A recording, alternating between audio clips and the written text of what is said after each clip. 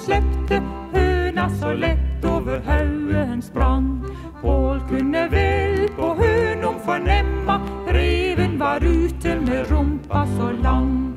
Klukk, klukk, klukk, sa høna på haugen. Klukk, klukk, klukk, sa høna på haugen. Pål han sprang og regde med augo, nå tør eg ikkje komma heim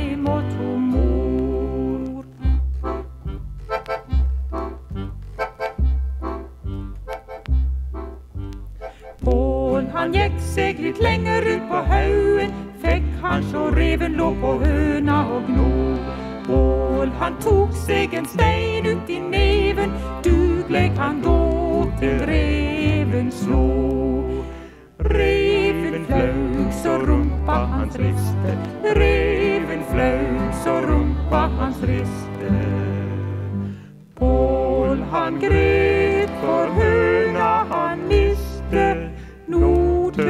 eg ikkje komma heim og to mor.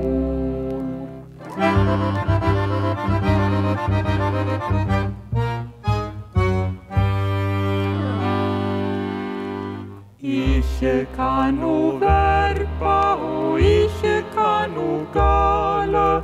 Ikkje kan ho krypa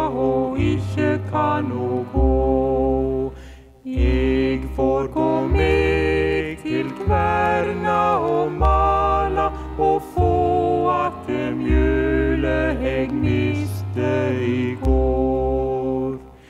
Pytsa Pål, eg er ikke bangen.